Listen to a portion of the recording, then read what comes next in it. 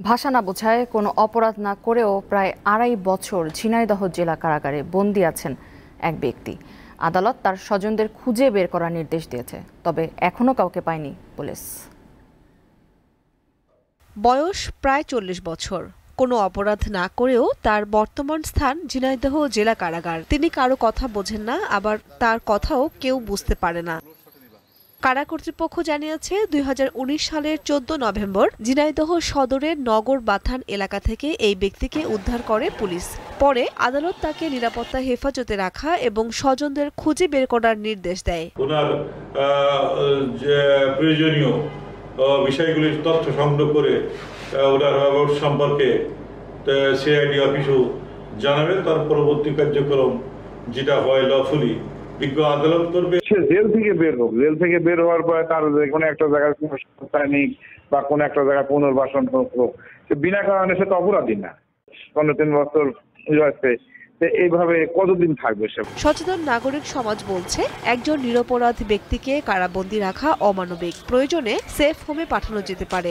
রাষ্ট্র এ ব্যাপারে উদ্যোগ গ্রহণ করবে আমি আশা করব।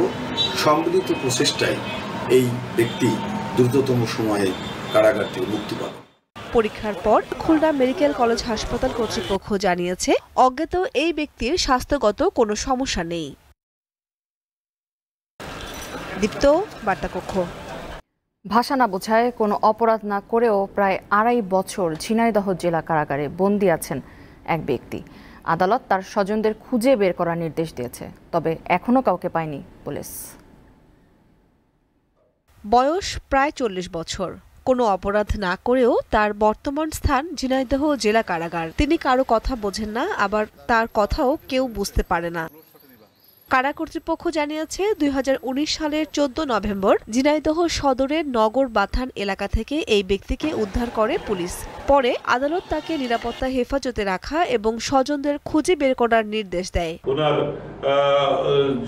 প্রয়োজনীয় বিষয়গুলির তথ্য সংগ্রহ করে ওনার অ্যাবাউট সম্পর্কে সিআইডি অফিসও জানাবে তার পরবর্তী কার্যক্রম যেটা হয় লফুলি বিজ্ঞ আদালত করবে। সে জেল থেকে বের হোক। জেল থেকে বের হওয়ার পরে তার কোনো একটা জায়গায় কোনো সংস্থায় নিক বা কোনো একটা জায়গায় পুনর্বাসন হোক সে বিনা কারণে সে তো অপরাধী না।